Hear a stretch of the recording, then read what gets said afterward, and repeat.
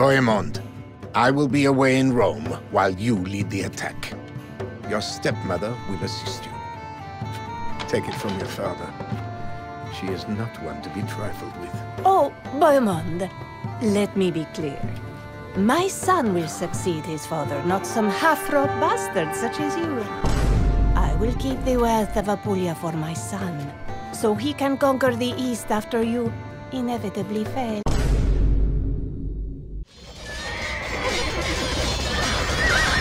Bohemond, it seems that your sister Matilda is more accomplished than you are.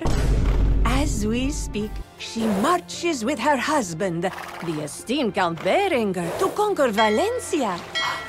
Maybe, after you fail, you can find employment there as one of the Count's squires. Oh, Bohemond, I thought you said that you would be heroic and have thousands of knights flocking to you. All I see is a coward who hangs back and does not fight himself. I suppose your mother's weak blood is to blame.